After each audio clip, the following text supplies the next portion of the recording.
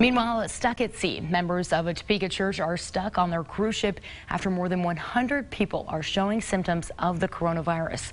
Fox 43 News reporter Dan Garrett takes us to the Second Presbyterian Church in Topeka after talking to the pastor.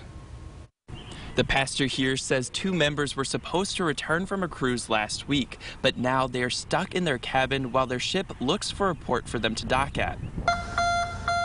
This Zaandam cruise ship was blocked from getting through the Panama Canal. Many passengers are sick and some have died.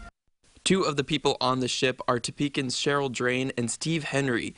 They are also members of the Second Presbyterian Church of Topeka. Been getting sporadic information from them as they're able to send it. Um, they've been confined to their cabins since the 22nd, I believe. Pastor Teresa Ingle says she's been able to text them to make sure the two are okay. So far, neither of them are showing any symptoms of being sick, but they hope to get to land soon. And the church is doing what they can to help from afar. Um,